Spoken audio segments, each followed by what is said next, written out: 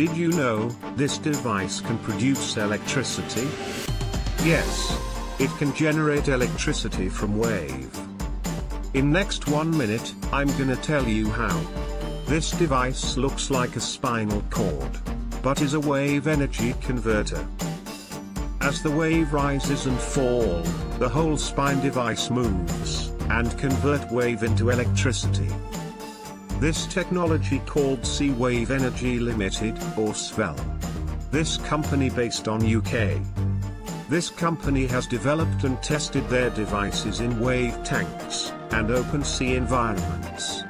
They have great achievements. This device can be built at low cost. And it can operate under low maintenance. Ocean is one of the largest reserves of clean and sustainable energy on Earth. We need to start using natural energy.